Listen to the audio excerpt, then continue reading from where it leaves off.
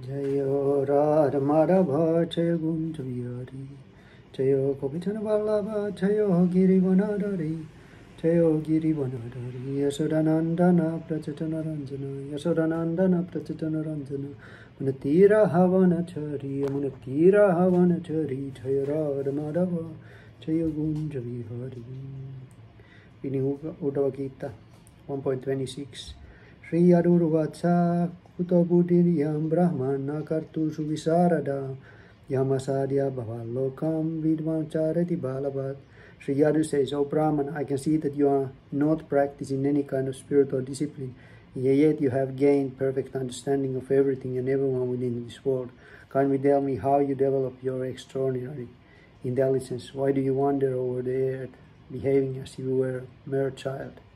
So, this uh, Maharaj Yadu, he was he was curious about this Brahmana boy, this Palavadhuta, who is Dattatreya, the Vish, uh, Vishnu himself.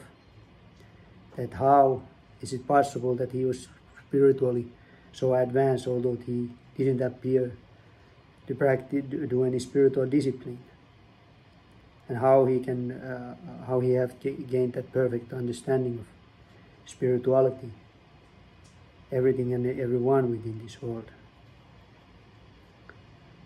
And also the, what is his mission, why he's wander over the head, behaving like a child.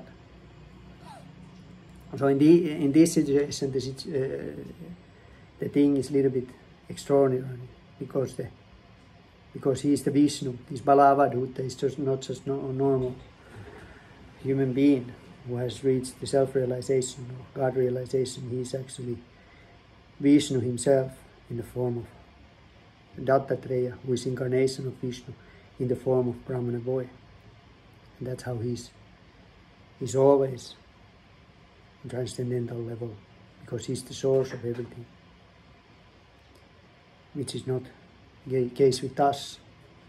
So we need some process, some spiritual process generally, or kripa, the mercy of someone who is very advanced in order to progress spiritually. Our situation is different than these Palavadhutas. Uddhava Gita Ki Chai.